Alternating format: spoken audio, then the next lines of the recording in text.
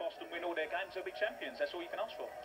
Terrific atmosphere here. There was a very good atmosphere on Tuesday night when Boston went down to Yeovil, uh, who have been riding high in the table all season. Uh, it was a game they really had to win, and they did. One goal scored after four minutes by who else but the conference's leading scorer, Daryl Clare. Well, he's in tremendous form at the moment, isn't he? That's a real striker's goal from Daryl Clare there. They actually rode their luck a little bit, Marcus, on the night. But there's some awful defending coming up here from Boston onto your own crossbar, and eventually they managed to clear it. I don't know how, but they do. And then just a couple of minutes from time, Yeovil had a goal disallowed for offside. It was the only offside decision given in the entire match, which suggests that Boston are having a little bit of luck just when they need it. Well, that's right. It's important at this stage of the season to have that luck. You can see all the defenders.